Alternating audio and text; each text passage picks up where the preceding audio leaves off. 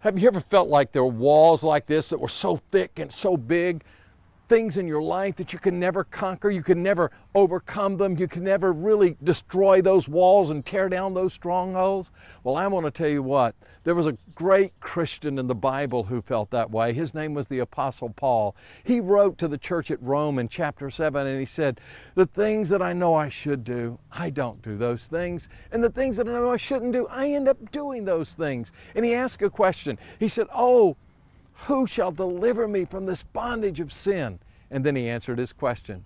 He said, I thank God through Jesus Christ. And you see, he knew the victory was not in himself. He knew he was a man like anyone else, and he struggled with all kinds of problems and difficulties and lust and anger and bitterness and all of those things that you and I struggle with.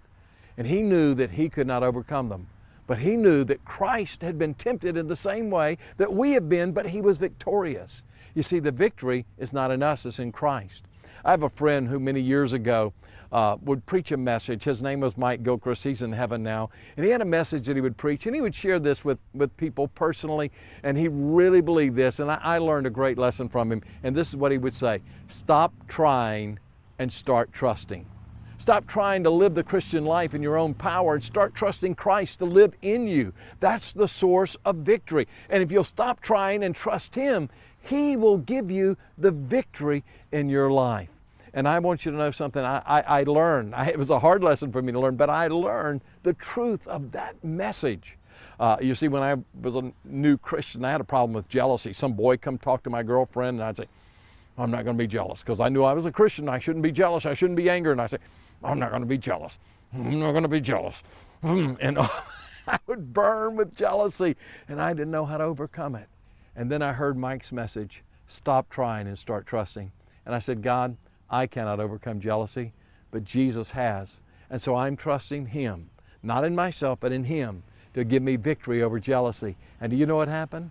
The next time I was tempted with jealousy, I trusted Jesus, and Jesus gave me victory and He'll give you victory. You see, don't try to do it in your own power. Stop trying and start trusting Jesus to live in you and to give you the power to be that person that you know God wants you to be, to do what He wants you to do, to obey His word. It's only by His power. So stop trying to do it in your own power and trust Christ to live in you and give you the power to be what He wants you to be.